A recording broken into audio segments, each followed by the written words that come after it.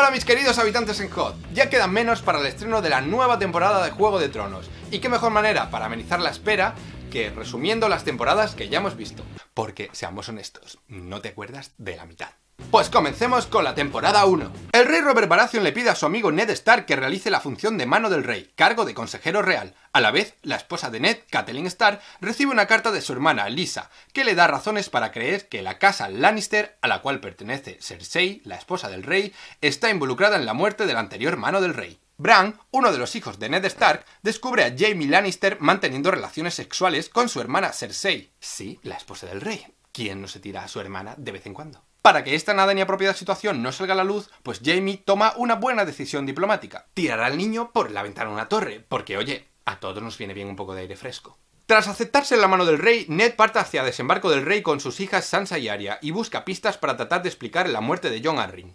Catelyn, de camino a Invernalia, se encuentra a Tyrion y lo apresa al creerle culpable del intento de asesinato de Bran, Después le lleva hasta el nido de águilas, la casa de su hermana Lysa, para que lo juzguen, aunque este se libra con un juicio por combate gracias a Bron. Las noticias de la captura de Tyrion llegan a desembarco del rey, y Jaime le exige respuestas a Ned, también muy disciplinadamente, cargándose su guardia y dejando a Ned mmm, comiendo suelo. Ned descubre el secreto que Jon Arryn averiguó antes de morir, que es básicamente que los hijos de Cersei son de su hermano Jaime.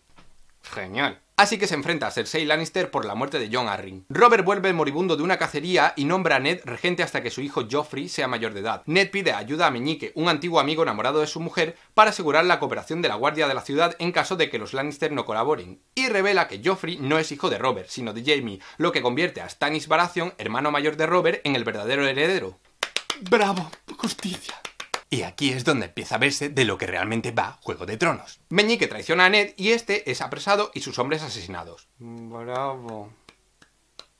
Ned, en un último intento para salvar a sus hijas, confiesa falsamente su conspiración y declara a Joffrey, con el que Sansa se va a casar, como el legítimo heredero del trono de hierro. Joffrey le corta el pescuezo. Genial. Y aquí es donde te das cuenta definitivamente de lo que va Juego de Tronos. A todo esto, Jon Snow, el hijo bastardo de Ned, se había ido al muro para unirse a la Guardia de la Noche y se preparan para enfrentarse a un antiguo enemigo del otro lado del muro. Mientras tanto, al otro lado del mar angosto, el príncipe exiliado Viserys Targaryen forja una alianza para recuperar el trono de hierro. Dará a su hermana Daenerys en matrimonio al salvaje Dothraki Khal Drogo a cambio de su ejército. Como regalo de boda, a la chiquilla le dan tres huevitos de dragón. Viserys amenaza con matar a Daenerys delante de Drogo cuando éste se niega a darle el ejército a este, por lo que sea, no le termina de encantar que hayan amenazado a su esposa, y pues le da la corona de oro a Viserys que quería. Claro, que es oro fundido, y como que le abrasa la cabeza y lo mata. Si es que donde se ponga un buen gesto poético.